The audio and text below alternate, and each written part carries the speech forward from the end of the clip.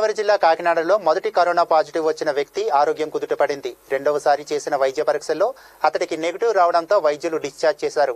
రాజమహేంద్రవరానికి చెందిన వ్యక్తి లండన్ నుంచి వచ్చాడు. ఆ తర్వాత అతనికి కరోనా పాజిటివ్ రావడంతో జీజీహెచ్లో వైద్యం అందించారు. తాజాగా శాంపిల్ చెక్ చేసిన తర్వాత నెగిటివ్ రావడంతో వైద్యులు డిశ్చార్జ్ చేశారు. జిల్లా కలెక్టర్ మురళీధర్ రెడ్డి జిల్లా SP Adnan Nayeem Asmi Kakinada city MLA Dwarampudi Chandrasekhar Reddy సమక్షంలో అతనిని ఇంటికి పంపారు.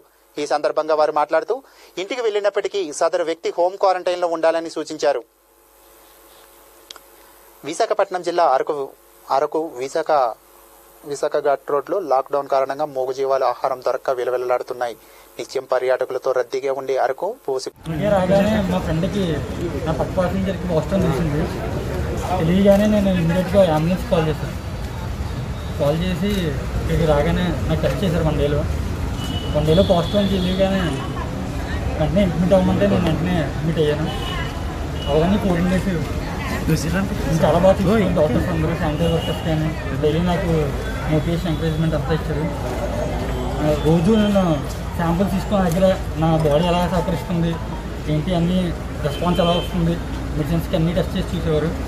వన్ వీక్లో మొత్తం సెట్ అవ్వగానే మెడిసిన్స్ అంతా ఆపి నీ బాడీ కవర్ అయ్యని చెప్పి నాకు ఎంకరేజ్మెంట్ అంతా ఇచ్చి ఇంకా వన్ వీక్ అవగానే మొన్న టూ డేస్ టెస్ట్ చేసి నెగిటివ్ రాగానే పంపిస్తున్నారు ఇప్పుడు. మా ఇంట్లో వాళ్ళని కూడా తీసుకొచ్చారు టెస్ట్ చేయడం కోసం. వాళ్ళకి టూ డేస్ నెగిటివ్ రాగానే పంపించారు. మీకు పాజిటివ్గా తేలినప్పటికీ ఇప్పటికీ చాలా ఇంక్రీజ్ ఉంది కేసెస్లో మీరు ఏం చెప్తారు? ఒక మీరు బాధపడితే మీరు ఏం చెప్తారు వాళ్ళకి? ఎవరికైనా సింటమ్స్ ఉంటే మొహమాట పడకుండా డాక్టర్ కాల్ చేయడం చాలా మంచిది. ఎందుకంటే మన వల్ల మన ఫ్యామిలీ మెంబర్స్ కానీ బయట అంట- ఎవరికైనా అంటుకోవచ్చు.